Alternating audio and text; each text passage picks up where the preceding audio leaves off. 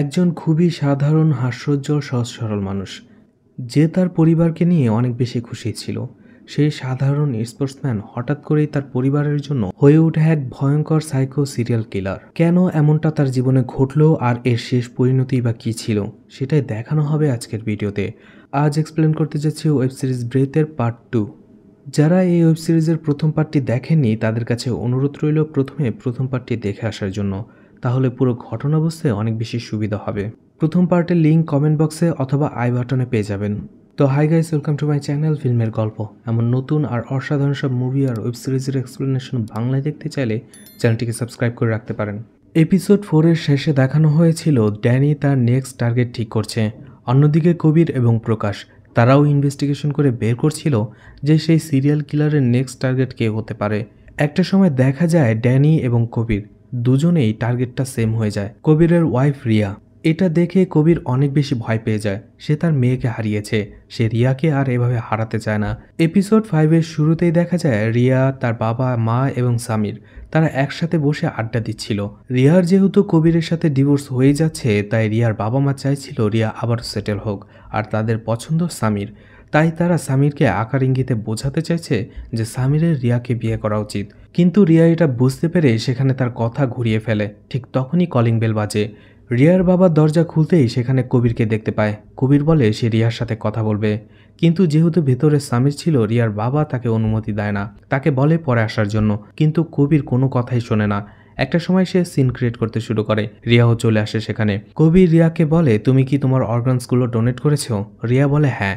একটা সময় সে বলে, তোমার লাইফ থ্রেটের মধ্যে আছে। কিন্তু সেখানে রিয়ার বাবা, মা, সামির সবাই মিলে কবিরকে সেখান থেকে চলে যেতে বলছিল। কারণ তখন কবির কিছুটা ড্রাঙ্কস ছিল। সবাই ভাবছিল, কবির হয়তো এখানে সিনক্রিয়েট করতে এসেছে। কেউ কবিরের কথা সিরিয়াসলি নিচ্ছে না, এমনকি রিয়াও না। কবির বারবারই বলছে, একজন মার্ডারার তোমাকে মার্ডার করার প্ল্যান করছে। কিন্তু কবিরের কথা কেউ গুরুত্বই দিচ্ছে না। একটা সময় কবির রিয়াকে যা বলার বলে সেখান থেকে চলে আসে। যেহেতু সবাই তাকে জোরাজোরি করছিল, একটা সময় সে বুঝতে পারে এখানে থাকলে সিন ক্রিয়েট হয়ে যাবে। তাই সে সেখান থেকে চলে আসে।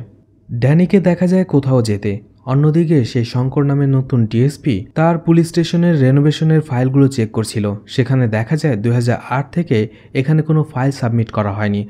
যার ফলে এই স্টেশন রেনোভেশন করার যে টাকাটা সরকার থেকে পেত, সেটা এখনও পায়নি। এমনকি অনেকের বেতনও আটকে রয়েছে। এতে তার মাথা অনেক গরম হয়ে যায়।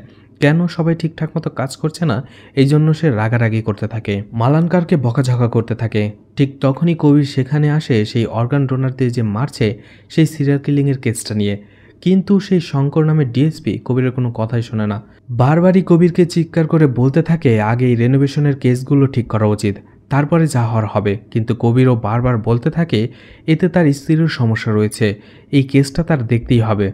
কিন্তু শঙ্কর বলে, এটা তার অর্ডার যে করেই হোক, এই কেসগুলো আগে ঠিকঠাক করতে হবে। তারপরে বাকি কিছু। একটা সময় ব্যর্থ হয়ে কবি সেখান থেকে ফিরে আসে।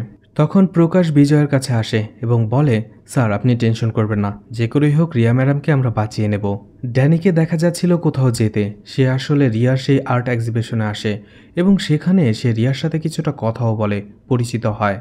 রিয়ার বিষয়ে পুরোপুরি খোঁজ নেওয়ার জন্য সেই ড্যানি চলে যায় সেলসম্যানের ছদ্মবেশে রিয়াদের বাড়িতে। সেখানে ঘরে ঢোকে সেলসম্যান হিসেবে এবং তার মার সাথে কথা বলার পাশাপাশি বাড়ির পুরো পজিশনটা সে জেনে নেয়। রিয়া সেই দিন কবিরের কোনো কথাই শোনেনি, তাই কবির চলে যায় রিয়ার সাথে পার্সোনালি দেখা করতে এবং বলে, আমি যেটা বলছি সেটা ভুল নয়, এমনটা হতে পারে, তোমার লাইফের থ্রেট রয়েছে। রিয়া সেখানে কোনো কথা না শুনেই চলে আসে এবং তার সেই ডিএসপি আঙ্কেলকে কল করে। সেই ডিএসপি বলে কবির যেটা বলছে সেটা করে দেখো, কারণ ওর ইন্টেনশন কখনোই ভুল হয় না। আর ও এটা করছে তোমার লাইফে ফিরে আসার জন্য নয়, তোমাকে বাঁচানোর জন্য। তাই আমার মনে হয় ও যেটা বলছে সেটা তোমার করা উচিত। কবির এবং প্রকাশ তখনও সেই কেসটা নিয়ে ইনভেস্টিগেশন করছিল। সেখানে দেখা যাচ্ছিল যারা এ বি নেগেটিভের ব্লাড গ্রুপের ডোনার্স রয়েছে, তাদের মধ্যে দুইজন অলরেডি মারা গেছে। রিয়া ছাড়া আরও দুজন অর্গান ডোনার্স সেখানে ছিল, যাদের একজন ছিল বার্মা এবং নায়ার। প্রকাশ বলে, নায়ার এখন লন্ডনে, সে ট্রিপে রয়েছে। তখন কবিরের সন্দেহ হয় বার্মার দিকে। বার্মার খবর নেওয়ার জন্য আসে। সেখানে দেখতে পায় বার্মা হসপিটালে তার বার্মার ছেলের সাথে কথা বলে। বার্মার ছেলে বলে, বাবার তেমন কোনো শারীরিক সমস্যা ছিল না। সেই দিন আমরা অ্যাজ ইউজুয়ালি অফিসের জন্য বের হয়ে যাই। আর সেই দিনে এমনটা ঘটে, কিন্তু এমনটা যে ঘটবে ভাবতেই পাইনি, কারণ আমার বাবা অনেক কেয়ারফুল। নিজের হেলথের ব্যাপারে সে অনেক বেশি সচেতন। হসপিটাল থেকে আসার সময় কবির প্রকাশকে বলে, সেই বার্মার আইসিইউর বাইরে দুজন কনস্টেবলকে লাগিয়ে দেওয়ার জন্য। তারা সার্বক্ষণিক তাকে পাহারা দেবে। রাতের বেলা দেখা যায় কেউ চুপি চুপি দরজা খুলছে, আর সেটা কেউ নয় ড্যানি। সে রিয়ার বাড়িতে চলে এসেছে। সে যখন সেলসম্যানের ছদ্মবেশে রিয়াদের বাসায় এসেছিল, তাদের চাবির একটা ডুপ্লিকেট চাবি বানিয়ে নিয়েছে। সে একটা সময় রিয়ার বেডরুমে পৌঁছে যায়, রিয়াকে মারার উদ্দেশ্যে। ঠিক তখনই সে দেখতে পায়, রিয়ার মাও তার সাথে ছিল। সে ওয়াশরুম থেকে বের হয়।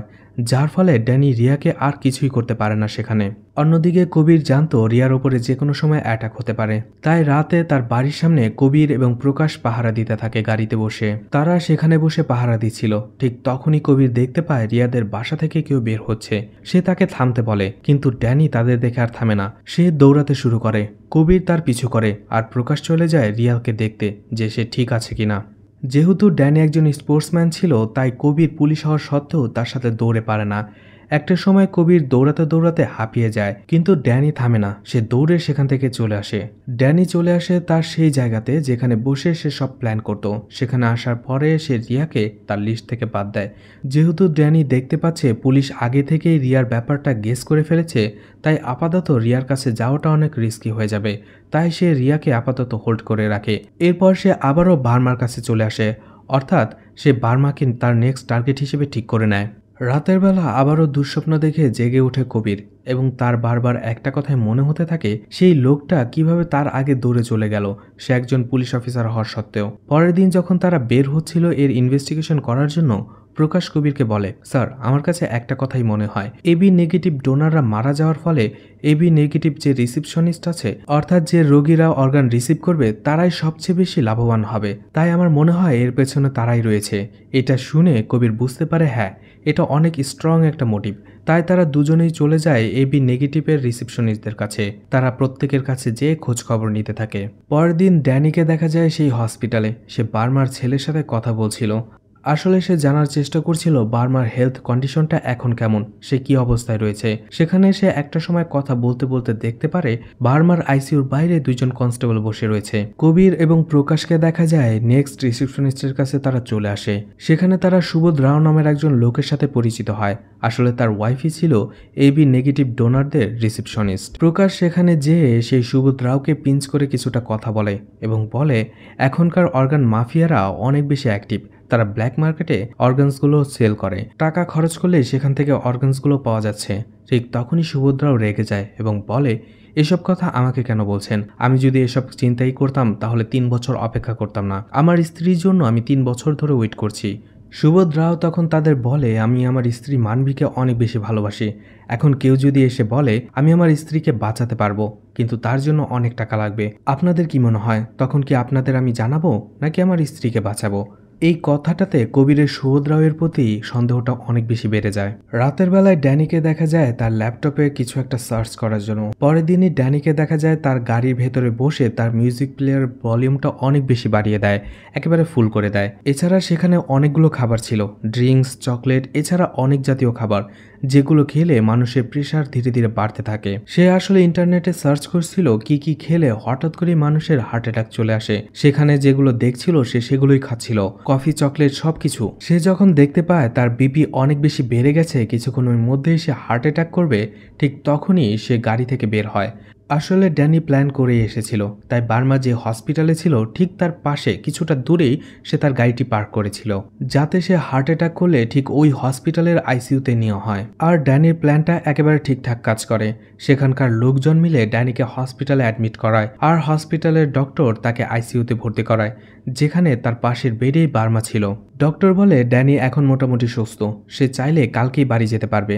ড্যানি রাত হওয়ার অপেক্ষা করে, যখন ডাক্তাররা সেখানে থাকে না, নার্সও প্রায় ঘুমে অবস্থায় ঠিক তখনই সে সুযোগটা কাজে লাগায়। সে বার্মা নামে সেই লোকটির বেডের কাছে চলে যায় এবং তার অক্সিজেন পাইপটি বন্ধ করে দেয়। এতে সেখানে বার্মা মারা যায়। সকালে ডক্টরের কাছে যখন বার্মাকে সে দেখতে পায় না, জিজ্ঞেস করে সে কোথায়। ডক্টর বলে, গতকাল রাতেই সে মারা গেছে। আসলে ড্যানি শিওর হচ্ছিল তার প্ল্যানটা ঠিকঠাকভাবে কাজ করছে কিনা। সকালে যখন ড্যানি সেই হসপিটাল থেকে ডিসচার্জ হচ্ছিল, ঠিক তখনই সেই হসপিটালে ডক্টর অরুণাকে দেখা যায়। সে কোনো একটা কাজে এই হসপিটালে এসেছিল। ঠিক তখনই সেখানে সে ড্যানিকে দেখতে পায়। অরুণা ডক্টরদের সাথে কথা বলতে বলতে ড্যানি সেখান থেকে চলে আসে। ড্যানি তার বাড়িতে চলে আসে। সে দেখতে পায় সেখানে কবির এবং প্রকাশকে। এপিসোড ফাইভ এখানেই শেষ হয়ে যায়। এপিসোড সিক্সের শুরুতে দেখা যায়, প্রকাশ তাকে জিজ্ঞাসাবাদ করছে, সে রবিবার কোথায় ছিল, কি করছিল, তার রেগুলার রুটিন কি ছিল। ড্যানি জানতো, পুলিশ একদিন না একদিন তার বাড়িতে চলে আসবে। তাই একেবারে নর্মালি সে বিহেভ করতে থাকে, প্রকাশের সব প্রশ্নের উত্তর দিতে থাকে। অন্যদিকে কবির ড্যানির পুরো বাড়িটা ঘুরে দেখছিল। ড্যানি যে একটা সময় ফুটবল প্লেয়ার ছিল আর এখন যে সে একটি একাডেমিতে কোচের দায়িত্ব পালন করছে, এই সব কিছুর ছবি, ট্রফি সেখানে ছিল আর এগুলোই কবির খুব ভালো করে দেখছিল।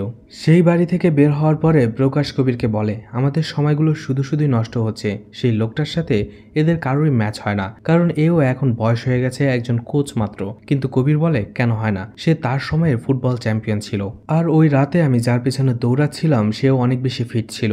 আর হাইটও অলমোস্ট সেম কবির বলে, এই লোকটার প্রতি আমার সন্দেহটা বেড়ে যাচ্ছে। দুইজন পুলিশ অফিসারকে বলো ড্যানির উপরে সার্বক্ষণিক নজর রাখতে। এদিকে হসপিটালে ডক্টর অরুণা ড্যানিকে দেখতে না পেয়ে তাকে কল করে। কিন্তু ড্যানি তার ফোন রিসিভ করে না, কারণ এখন তার মাথায় অনেক বড় একটা টেনশন। তার টেনশনের সব থেকে বড় বিষয়টা হচ্ছে কবির এবং প্রকাশ। তাকে সন্দেহ করে তার বাড়ি পর্যন্ত চলে এসেছে। সে এখন কি করবে সেটাই ভাবতে থাকে। ডক্টর অরুণা যখন তার কল ধরছিল না, ঠিক তখনই ডক্টর অরুণা সে হসপিটালের রিসেপশনিস্টের কাছে যে জিজ্ঞেস করে, কিছুক্ষণ আগে নীল শার্ট পরা একজন লোক চশমা পরা ছিল, গালে দাঁড়িয়েও ছিল। এই লোকটি এখানে কি করছিল?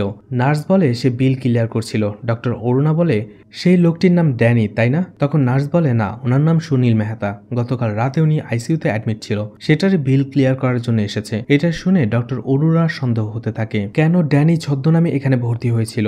আর সে যদি হার্ট অ্যাটাক করে তাহলে ডক্টর অরুণাকে সে একবারও কেন জানালো না? ড্যানিকে দেখা যায় আবারও তার বার ট্যাবের পানির নিচে ডোম আটকে শুয়েছিল। তখনই সে তার কানের মধ্যে সেই তিনজন ব্যক্তির চিৎকারের আওয়াজ শুনতে পায়, যাদের সে মেরে ফেলেছে। পরের দিন দেখা যায় ড্যানিকে গাড়ি নিয়ে বের হচ্ছিল, সে কোথাও যাচ্ছিল। অন্যদিকে একজন পুলিশ অফিসারকে দেখা যায় ড্যানিকে ফলো করার জন্য। ড্যানি যেখানে বসে, অর্থাৎ যে ঘরটাতে বসে তার প্ল্যানগুলো করছিল, ঠিক সেখানেই সে আসে। অন্যদিকে সেই পুলিশ অফিসার কবিরকে কল করে বলে, ড্যানি যেখানে এসেছে তার ঠিকানা বলে। কিছুক্ষণ পরেই কবির এবং প্রকাশকে সেখানে আসতে দেখা যায়। তারা সেই পুলিশ অফিসারের সাথে দেখা করে। সেই পুলিশ অফিসার বলে, ড্যানি তার কার নিয়ে এখানেই গেছে। কারটি এখানে পার্ক করে সে ভেতরে গেছে। অন্যদিকে ড্যানি ভেতর থেকে শুনতে পায় তার কুকুরটি ঘেউ ঘেউ করছে। আসলে সেই কুকুরটি প্রকাশ এবং কবিরকে দেখেই ঘেউ ঘেউ করছিল। কবির এবং প্রকাশ একটা সময় সেখানে চলে আসে। ড্যানিকেও দেখা যায় সে তার কিছু সরঞ্জাম নিয়ে সেখান থেকে বের হচ্ছিল। কবির এবং প্রকাশ পুরো ঘরটার তল্লাশি নেয়, কিন্তু সেখানে তারা সন্দেহজনক কিছুই খুঁজে পায় না।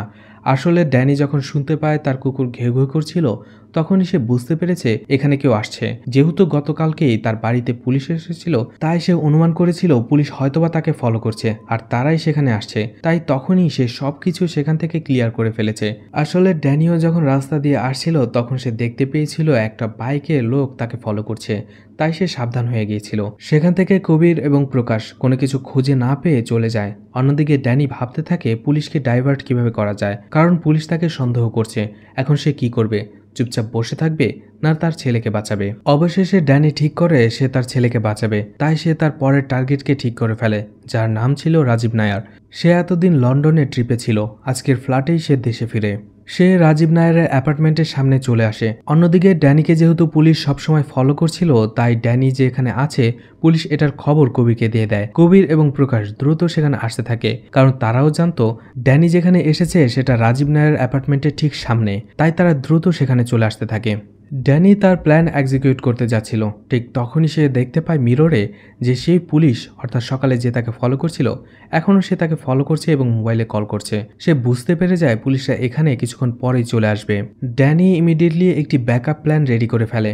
সে আশেপাশের কয়েকটি রেস্টুরেন্টের নাম সার্চ করে। এরপরে গাড়িটি স্টার্ট দিয়ে সেখান দিয়ে যেতে থাকে। অন্যদিকে সেই পুলিশটি এটা কবির এবং প্রকাশকে জানায়, কিন্তু তারা বুঝতে পারে না ড্যানি সেখান থেকে চলে গেল কেন। কারণ তারা ভেবেছিল হয়তোবা ড্যানি রাজীব নায়ের অ্যাপার্টমেন্টে যাবে। কবি সেই পুলিশ অফিসারকে বলে ফলো করার জন্য। তারা ফলো করে।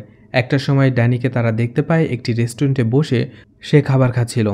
কবির এবং প্রকাশ তার সাথে দেখা করে এবং বলে, এখানে সে কি করতে এসেছে? ড্যানি বলে, এখানকার ফিশ ফ্রাইটা অনেক বেশি টেস্টি, আর এটাই সে এখানে খেতে এসেছে। কবির তাকে জিজ্ঞেস করে, এখানে সে এভাবে ফিশ ফ্রাই খেতে এসেছে শুধু? তখন ড্যানি কথা ঘুরিয়ে ফেলে। সে বলে, এখানকার নাম সে অনেক দিন ধরে শুনেছে। আসলে সে আজকে একটু ডিপ্রেস ছিল, তাই ভাবলো কোথাও যেয়ে সে খাবার খেয়ে আসবে। এতে তার মনটা ভালো হয়ে যাবে। এরপর টুকটাক কথা বলে সে সেখান থেকে চলে আসে।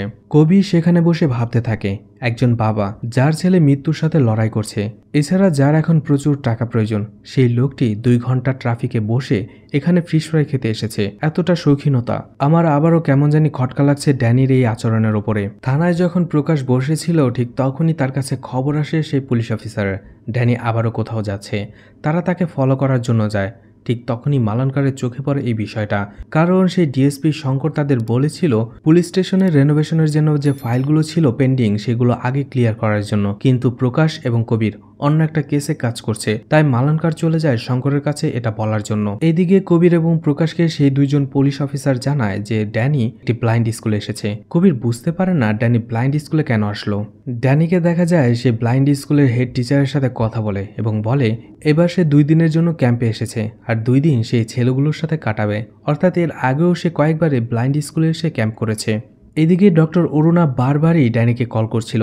কিন্তু ড্যানি তার কল ধরছিল না। এদিকে প্রকাশ খবর নিয়ে কবিরকে জানায় যে ড্যানি ব্লাইন্ড স্কুলের হয়ে ভলেন্টিয়ার হয়ে কাজ করে আর মাঝে মধ্যে সে দু থেকে তিন দিনের ট্রেনিং ক্যাম্প করে এবং সেই বাচ্চাদের বিভিন্ন জিনিস শেখায়, খেলাধুলা শেখায়। এদিকে ডক্টর অরুণা চলে আসে হসপিটালে। সেখানে আসার পরে সে দেখতে পায় তার ল্যাপটপে একটি মেল এসেছে। মেলটা ওপেন করতে সে দেখতে পায় ড্যানির ছেলে জশ ওয়েটিং নাম্বার লিস্টের ওয়ানে চলে এসেছে। প্রথম প্রথম অরুণা খুশি হলেও এখন ড্যানির কাজকর্মে তার কিছুটা সন্দেহ হচ্ছে। আর যশের ওয়েটিং নাম্বার লিস্টে এরকম ওপরে চলে আসাটাও তার সন্দেহের আরেকটা কারণ হয়ে দাঁড়িয়েছে। এরপরে ডক্টর অরুণা সেই হসপিটালে কল করে, যেখানে বার্মা এবং ড্যানি আইসিইউতে অ্যাডমিট ছিল এবং বলে, নয় অক্টোবর সেই দিন আইসিইউতে কারা কারা অ্যাডমিট ছিল, সেই পেশেন্টদের ডিটেলস আমার একটু চাই। কারণ সে ইনকোয়ারি করতে চাইছিল যে তার সন্দেহটা ঠিক কিনা। অবশেষে সে ডিটেলস পাওয়ার পরে দেখতে পারে সেখানেও এবি নেগেটিভের একজন ডোনার ছিল, যে সেই দিনই মারা গেছে আর সেও আইসিইউতে অ্যাডমিট ছিল। এটা দেখে অরুণা ভয় পেয়ে যায়। সে ড্যানির পুরো প্ল্যানটা বুঝতে পারে এবং বুঝতে পারে যশের নাম্বার ওয়েটিং লিস্টে ওয়ানে চলে আসাটা কোনো কইন্সিডেন্স নয়। এটা শুধুমাত্র একটা প্ল্যান প্রি প্ল্যান ড্যানি তার ছেলেকে বাঁচানোর জন্যই এদেরকে এক এক মেরে ফেলছে। অন্যদিকে কবিরের কথা মতো সেই দুজন পুলিশ অফিসার সার্বক্ষণিক সে ব্লাইন্ড স্কুলের সামনে নজরদারি করছিল। ড্যানিকে দেখা যায় সে বাচ্চাদের সাথে সেখানে খেলছিল। একটা সময় সে তার গায়ে পারফিউম লাগায়। সেখানে দুজন অন্ধ বাচ্চা বলে, স্যার, পারফিউমের গ্রানটা অনেক বেশি সুন্দর। তখন ড্যানি তাদেরও সেই পারফিউমটা কিছুটা দিয়ে দেয়। অরুণা যদিও ড্যানির ব্যাপারে তা বুঝতে পেরেছিল, কিন্তু তার কিছুই করা ছিল না। অবশেষে একটা সময় বাধ্য হয়ে সে ড্যানির মাকে এই নিউজটা জানায় যে তার নাতি জশ রিসিপিয়েন্ট লিস্টে নাম্বার ওয়ানে চলে এসেছে। এটা শুনে ড্যানির মা অনেক খুশি হয়ে যায়। রাতে দেখা যায় সে ব্লাইন্ড স্কুলে ড্যানি সেসব বাচ্চাদের নিয়ে মুভি দেখছিল। যদিও তারা ব্লাইন্ড ছিল, সেই মুভি তারা দেখতে পারতো না। ড্যানি তাদের মুখে সেই মুভি বলে বলে সেই মুভির দৃশ্যগুলো তাদের বোঝাতো। এতে বাচ্চারা অনেক বেশি আনন্দ পেত। সেই ব্লাইন্ড স্কুলের দুইজন কেয়ারটেকারও ছিল, কিন্তু তারা তো ব্লাইন্ড ছিল না। তাই ড্যানি তাদের অন্য একটি মুভি দেখাতে শুরু করে, কারণ তারা ইংলিশ মুভি দেখে বোরিং হচ্ছিল। তাই ড্যানি তাদের অন্য একটি রুমে নিয়ে একটি হিন্দি মুভি চালিয়ে দেয়। তারা দুজন সেখানে সেই মুভি দেখতে শুরু করে। পুলিশ তখনও রাতের বেলা সেই স্কুলের সামনে পাহারা দিচ্ছিল। অন্যদিকে ড্যানি চার্লি চাপলিনের একটি ভিডিও তাদের ডাবিং করে শোনাচ্ছিল। এদিকে সেই ডোনার রাজীব নায়ারকে দেখা যায় একটি ফাইভ স্টার হোটেলে আসার জন্য। দুজন পুলিশ তাকেও ফলো করছিল এবং এই নিউজটা তারা কবির এবং প্রকাশকে দেয়। রাজীব নায়ারকে দেখা যায় সেই হোটেলে চেক ইন করার পরে সেখানে সে গোসল সেরে নেয়। ঠিক তখনই তার বাসা থেকে কল আসে। সে তার বাড়ির লোকের সাথে কথা বলতে শুরু করে। ঠিক তখনই একজন লোক এসে রাজীব নায়ারকে জিজ্ঞেস করে, কেমন আছেন? অনেক দিন পরে আপনাকে ক্লাবে দেখলাম। রাজীব নায়ার বলে, আমি তো ভালো আছি, কিন্তু আপনাকে তো চিনলাম না। এই কথাগুলো রাজীব নায়ের স্ত্রী তার ফোন দিয়ে শুনছিল। এরপরে রাজীব নায়ার চলে যায় সুইমিং করতে। সেখানে যাওয়ার পরে সে কিছুটা সুইমিং করে। সেখানে তার মতো আরও অনেকেই সুইমিং করছিল। ঠিক তখনই সেখানে ক্লাবের ইলেকট্রিসিটি চলে যায়। রাজীবকে পেছন থেকে কেউ জাপটে ধরে। তাকে নিচে নিয়ে যায়। রাজীব নায়ার বাঁচার জন্য ছটপট করতে থাকে। সে দম ছাড়তে পারছিল না, ওপরেও আসতে পারছিল না। যেহেতু সেখানে অন্ধকার ছিল, তাই কেউ তাকে দেখছিলও না। এছাড়া যেহেতু সে পানির নিচে ছিল, তাই তার চিৎকারের আওয়াজ ওপরেও আসছিল না। রাজীব নায়ারকে যে জাপটে ধরেছিল, সেটা আর কেউ নয় ড্যানি। আর ড্যানি এই জন্যই তার বাথটেবের পানির নিচে ডোম আটকে শুয়েছিল। এটা সে প্র্যাকটিস করছিল। যাতে সে সুইমিং পুলে পানির নিচে মারার সময় সে নিজে না মারা যায়। সে যাতে পানির নিচে অনেকক্ষণ শ্বাস আটকে রাখতে পারতো, এটাই সে প্র্যাকটিস করছিল এতদিন ধরে। সেটা তার প্রি প্ল্যানের একটা অংশ ছিল। রাজীব নায়ার সেখানে মারা যায় আর এখানে এপিসোড সিক্স শেষ হয়ে যায়। এপিসোড সেভেনের শুরুতেই দেখা যায় কবির এবং প্রকাশকে ক্রাইম সিনে সেখানে কবির প্রকাশকে বলে, হসপিটাল থেকে কল করেছিল। নায়রের অবস্থা ক্রিটিক্যাল অর্থাৎ সে এখনও পুরোপুরিভাবে মারা যায়নি। প্রকাশ বলে, সে এখনও সেই ব্লাইন্ড স্কুলেই রয়েছে। পুলিশরা সর্বক্ষণই তার উপরে নজর রাখছে। প্রকাশ বলে, স্যার, আমার মনে হয় না এই কাজটা ড্যানি করছে, অর্থাৎ এই কাজগুলো ড্যানি করছে, কারণ আমরা তাকে সার্বক্ষণিক নজর রাখছি। সে সার রাত সেই ব্লাইন্ড স্কুলেই ছিল বাচ্চাদের সাথে। আর যেহেতু রিসিপিয়েন্ট অনেকেই রয়েছে, তাই অন্য কেউ এই কাজগুলো করতে পারে। সেই সুভদ্রাও এই কাজগুলো করতে পারে। কিন্তু কবির বলে, আমার মন সেটা বলছে না। কারণ আমার এখনও মনে হচ্ছে এর পেছনে ড্যানি রয়েছে। প্রকাশ বলে, সে কীভাবে আসবে? পুলিশ তাকে পাহারা দিচ্ছে। ব্লাইন্ড স্কুল থেকে সে বের হলে সে স্কুলে খবর নিলেই জানা যাবে কীভাবে সে এখানে আসবে। সেখানে কবির এবং প্রকাশ ইনভেস্টিগেশন করতে থাকে, জিজ্ঞাসাবাদ করতে থাকে। সেখানকার রিসেপশনিস্টরা বলে থাকে, হঠাৎ করে কয়েক মিনিটের জন্য কারেন্ট চলে গিয়েছিল। নর্মালি এমনটা হয় না। কিন্তু হঠাৎ করেই গতকাল রাতে এটা ঘটেছে। পরে যখন আমরা চেক করেছি, আমরা দেখতে পেয়েছি সেখানের ফিউজি মিসিং ছিল। তারা সেই হোটেলের সব সিসিটিভি ফুটেজগুলো চেক করতে থাকে। কিন্তু সেখানে ড্যানি বা হত্যাকারীর কোনো ফুটেজ ছিল না। কবির সব কিছু ভাবতে থাকে। একটা সময় সে প্রকাশকে জিজ্ঞেস করে, ড্যানি যে ব্লাইন্ড স্কুলে আছে, সেটা কোথায়?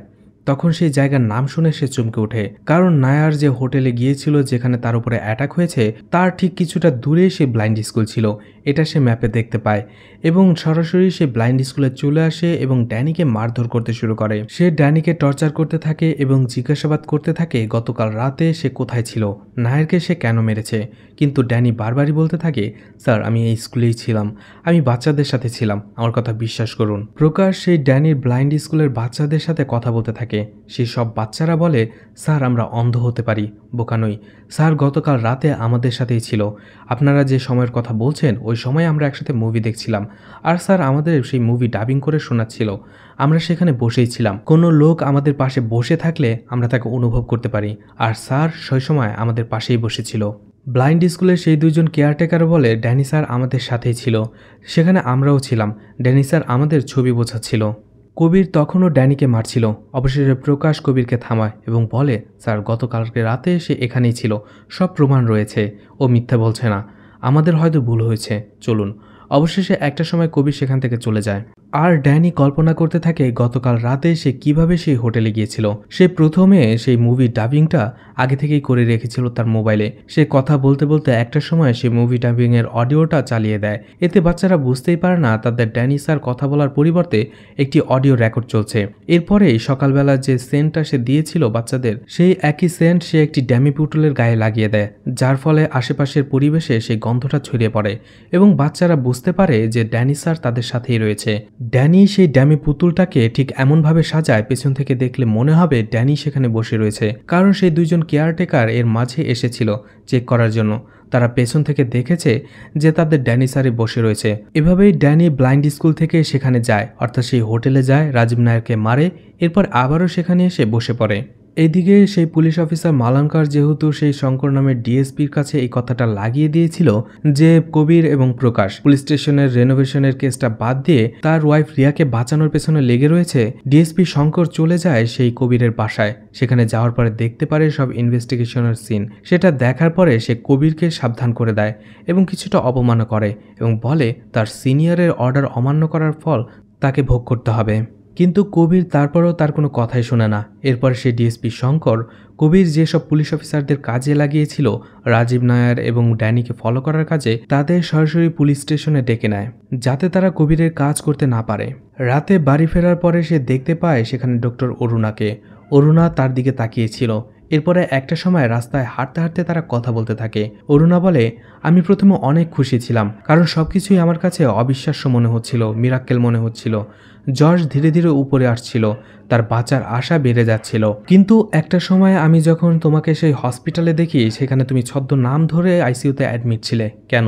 ঠিক ওই রাতেই ওই আইসিইউতে একজন ডোনার মারা যায়। কীভাবে? এই সব কিছু কোইন্সিডেন্স হতে পারে না। আমার মনে হয় আমি যেটা ভাবছি, তুমি সেটাই করছ। কেন? তুমি যদি এটা ভাবো যে আমি তোমার কথা মেনে নেব, তাহলে কখনোই না। আমি পুলিশকে কল করব, পুলিশকে জানাব।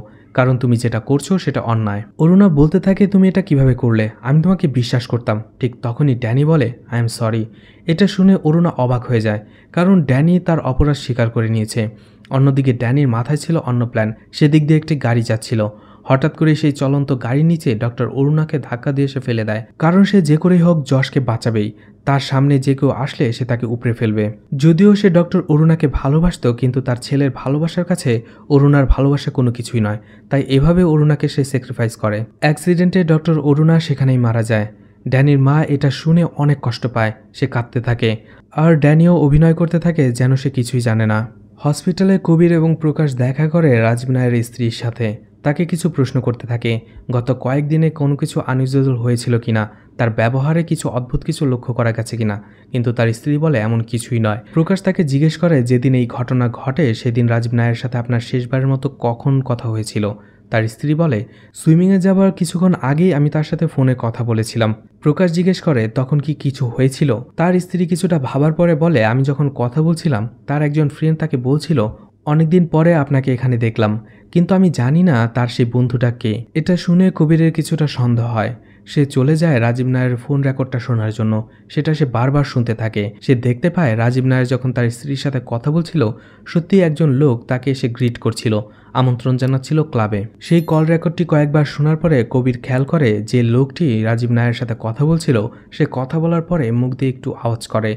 এটা সে বারবার শোনে। ঠিক তখনই তার মনে পড়ে, সে যখন সুবোধ রাওর সাথে কথা বলতে গিয়েছিল, সেই লোকটিও একই রকমভাবে কথা বলার শেষে মুখ দিয়ে একটু আওয়াজ করে। কবির বুঝতে পেরে যায় এই সব কিছুর পেছনে সুবোধ রাওই রয়েছে। তাই সাথে সাথে যেয়ে তাকে লিফটে আটকায় এবং তাকে সেখানে কিছুটা টর্চার করে। কিন্তু সুবোধ রাও বলে, কি জিজ্ঞেস করছেন? আমি কিছুই বুঝতে পারছি না।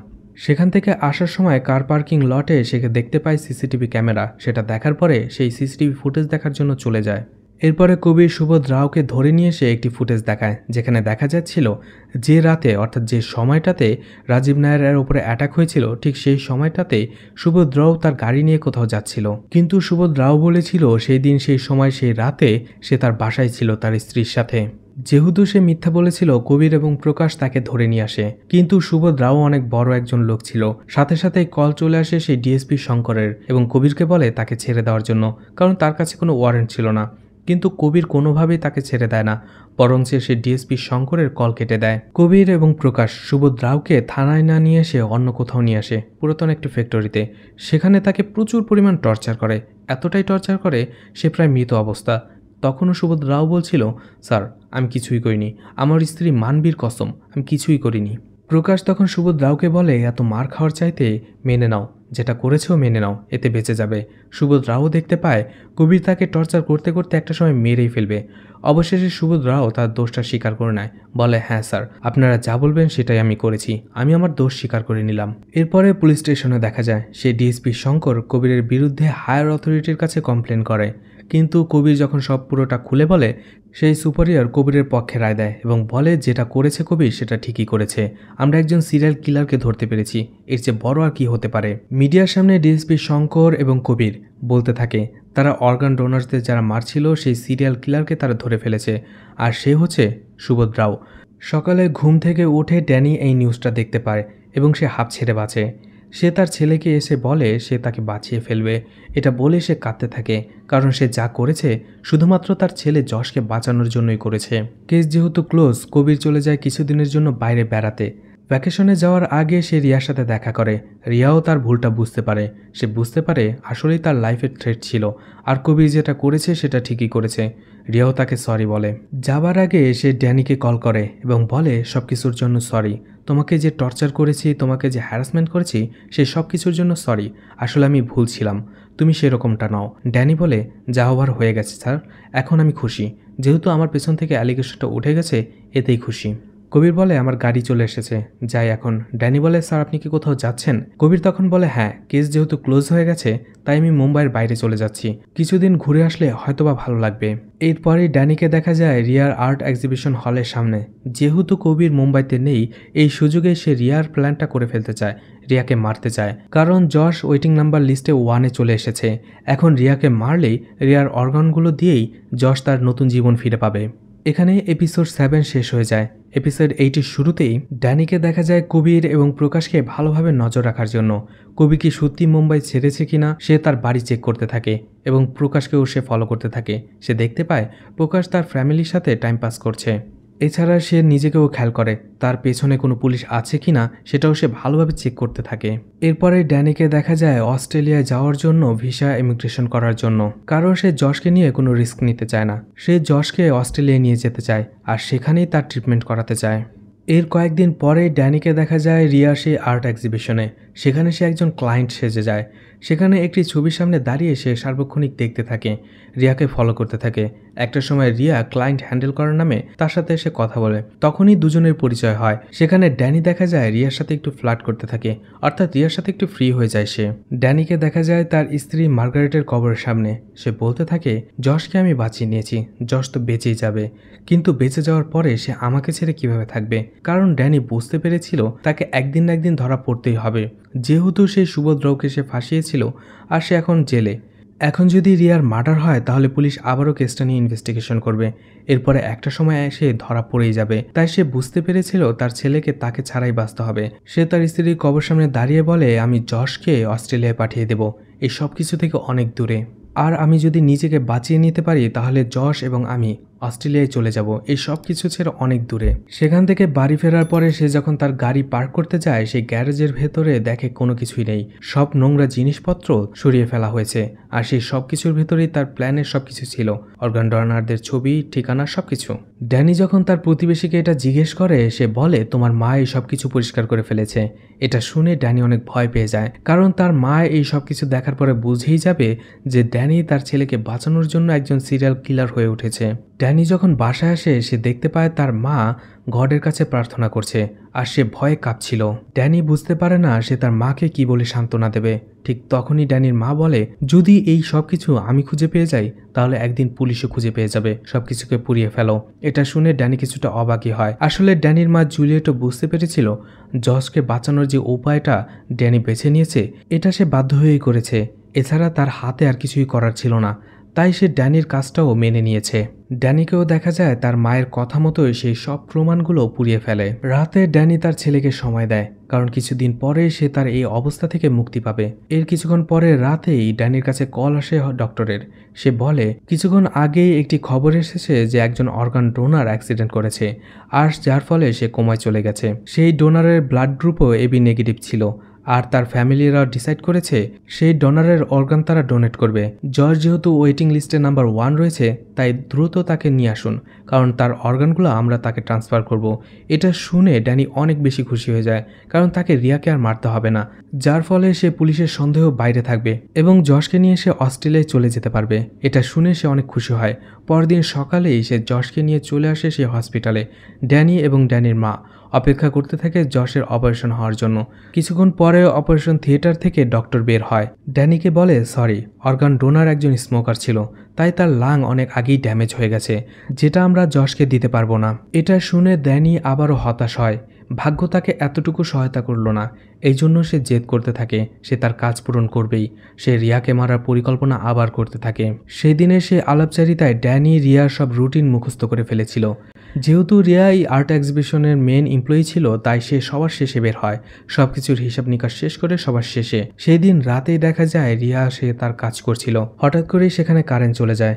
অন্ধকারে সে ড্যানিকে দেখে ভয় পেয়ে যায়। তখন রিয়া মাথায় বাড়ি দেয় ড্যানি। এতে সে জ্ঞান হারিয়ে ফেলে। এরপরে যখন রিয়ার জ্ঞান ফিরে, সে দেখতে পায় ড্যানি তার চারপাশটায় পানি ঢালছে। এই কারেন্টের সাথে যদি দুইশো তিরিশ ভোল্টে ইলেকট্রিসিটি প্রয়োগ করা যায়, ধীরে ধীরে তার শরীর, অর্থাৎ রিয়ার শরীর প্যারালাইজড হয়ে যাবে, তার হার্টবিট বন্ধ হতে থাকবে, অর্থাৎ ধীরে ধীরে একটা সময় সে কমায় চলে যাবে।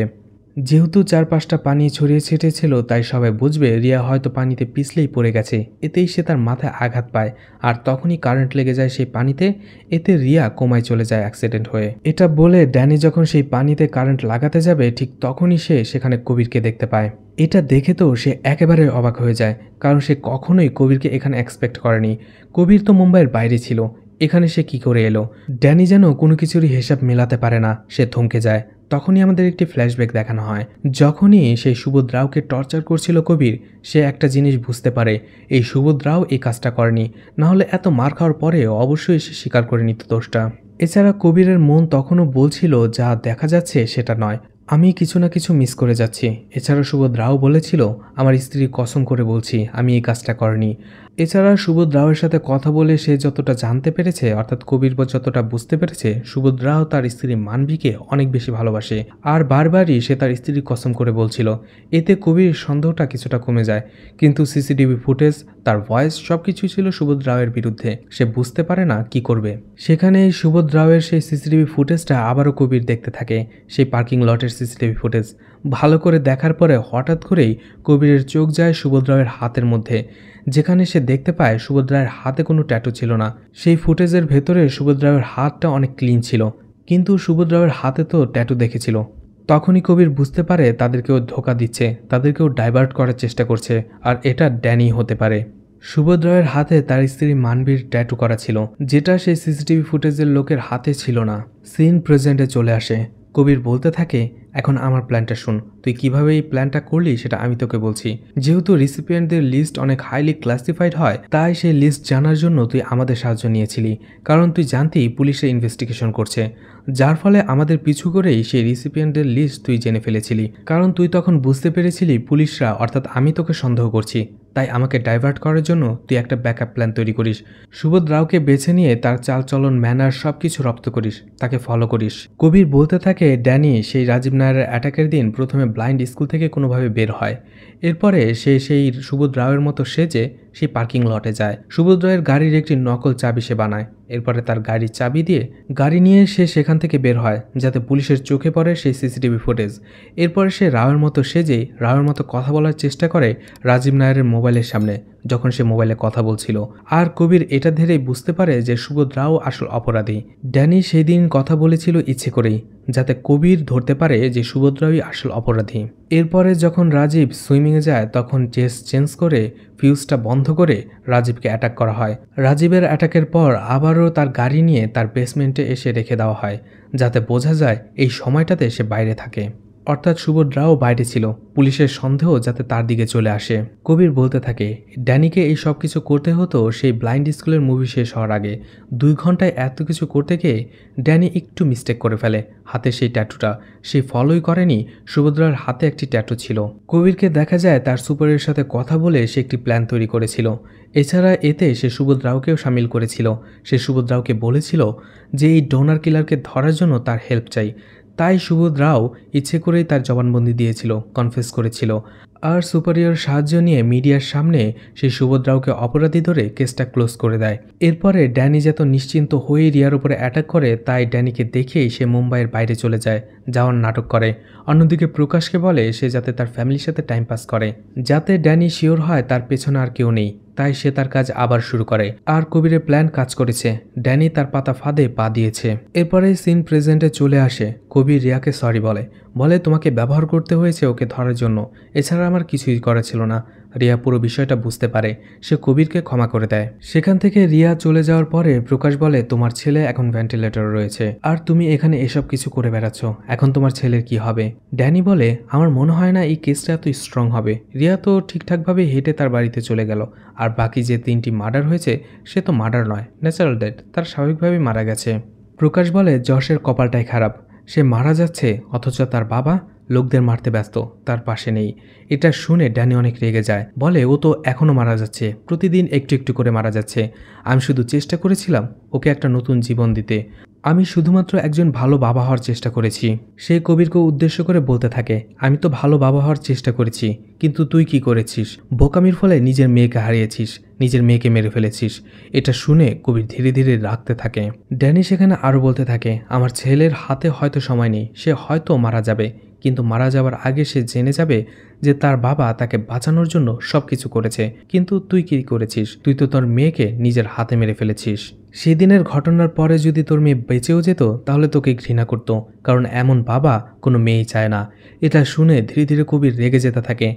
একটা সময় সে তার রাগ কন্ট্রোল করতে না পেরে ড্যানিকে সেখানে মেরে ফেলে। ড্যানি সেখানে তার ছেলের কথা ভাবতে ভাবতে মারা যায়। যশের কথা কল্পনা করতে করতে সে তার শেষ নিঃশ্বাস ত্যাগ করে। এক বছর পরের ঘটনা দেখানো হয়, যেখানে যশ আবারও সুস্থ হয়ে খেলাধুলা করছিল। স্কুল কম্পিটিশনে দৌড়াচ্ছিল। কবিরও সেখানে ছিল। সে মনে মনে বলতে থাকে, ড্যানি হয়তো একজন সিরিয়াল কিলার ছিল। কিন্তু বাবা হিসেবে সে যেটা করেছে, তার জায়গায় আমি থাকলে হয়তো আমিও করতাম। ড্যানির জায়গায় ড্যানি ঠিকই ছিল, কিন্তু আমাদের শাস্তি দেওয়ার তাই দিয়েছি। কিন্তু যশকে আমি এভাবে মারতে পারি না। ড্যানির এত কষ্ট করা, নিজেকে স্যাক্রিফাইস করাটা বিফলে যেতে দেওয়া যায় না। তাই আমি ঠিক করেছিলাম যশকে আমি বাঁচিয়ে নেব। যদিও আমার মেয়েকে আমি বাঁচাতে পারিনি, কিন্তু যশকে আমি ঠিকই বাঁচাবো। এরপরে কবিরকে দেখা গিয়েছিল হসপিটালে, সেই অর্গান ডোনার রাজীব নায়ারের আইসিওর পাশে। যেহেতু সে কোমায় ছিল, সে যদি মারা যেত, তাহলেই যশ বেঁচে যেত, আর সেই কাজটা করে, অর্থাৎ সে রাজীব নায়ারকে মেরে ফেলে। আর রাজীব নায়ারের অর্গান দিয়েই যশ তার নতুন জীবন ফিরে পায়। যদিও কবি যে তা করেছে, সে জানে সেটা অপরাধ, কিন্তু ড্যানির শেষ না হওয়া কাজটা সে করেছে একজন বাবা হিসেবে। সে তার নিজের মেয়েকে বাঁচাতে পারেনি, যশকে সে বাঁচিয়েছে। এছাড়া কবির ড্যানির জন্য আরেকটা কাজ করে। সে মিডিয়ার সামনে বলে রাজীব নায়ারের উপরে যে অ্যাটাক হয়েছিল, সেটা কোনো অ্যাটাক ছিল না। কারণ রিইনভেস্টিগেশন করার পরে তারা জানতে পেরেছে, সেটা একটা ন্যাচারাল ডেট ছিল। পানির মধ্যে সে হঠাৎ করে হার্ট অ্যাটাক করে, যার ফলে তার মৃত্যু হয়েছে কোমার মধ্যে। কবির এটা করেছিল শুধুমাত্র যশের জন্য, যাতে যশ বড় হয়ে জানতে না পারে তার বাবা একজন খুনি ছিল, আর তাকে বাঁচাতে যেয়েই সে খুনি হয়েছে। এটা জানতে পারলে যশ হয়তো নিজেকে ঘৃণা করবে, কারণ সে নিজের জন্যই নিজের বাবাকে হারিয়েছে। আর এই সব কাজটা করেছে সে শুধুমাত্র যশের জন্য। কারণ যশের মধ্যে সে নিজের মেয়েকে খুঁজে পায়। সেখানে রিয়াও এসেছিল। অর্থাৎ রিয়া এবং কবিরের আবারও প্যাচআপ হয়ে গেছে। আর কবিরও এখন ড্রিঙ্কস করা বন্ধ করে দিয়েছে। সে নিজেকে বদলে ফেলেছে, কারণ নিজের মেয়েকে সে যশের মধ্যে খুঁজে পায়। আর এখানে এই দুর্ধর্ষ ওয়েব সিরিজটা শেষ হয়ে যায়। ওয়েব সিরিজটি আপনাদের কেমন লেগেছে কমেন্ট করে জানাতে পারেন। আপনার সন্তান যদি এমনটাই হতো, আপনি যদি এই সিচুয়েশনে থাকতেন, তাহলে আপনি কি করতেন? ড্যানি যেটা করেছে, সেটা কি ঠিক করেছে, নাকি ভুল? আপনার মতামত কমেন্টে লিখে জানাবেন। এছাড়া কবির যেটা করেছে সেটা ঠিক কিনা? সে যশকে বাঁচিয়েছে আর বাঁচানোর জন্য সেও একজন মানুষকে মেরেছে। সেই কাজটা কি ঠিক করেছে কিনা? সেই পুরো বিষয়টা আপনাদের মতামতটা কমেন্ট করে জানাতে পারেন। ভিডিওটি ভালো লাগলে অবশ্যই লাইক, কমেন্ট, শেয়ার করে পাশে থাকতে পারেন।